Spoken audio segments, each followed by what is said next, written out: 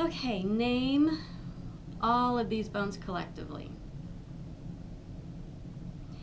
These are the tarsals because this is the foot.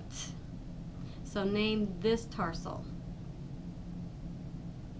Talus. Name this tarsal. Calcaneus. Name these bones. Metatarsals. What number do we begin with here? Number one, then number two, three, four, five. And name these bones. The phalanges.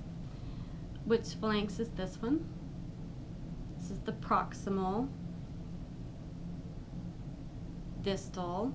We would number them one. And then we would have, this is proximal.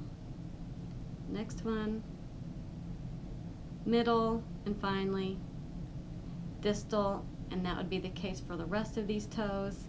Um, and this begins with number two, three, four, five.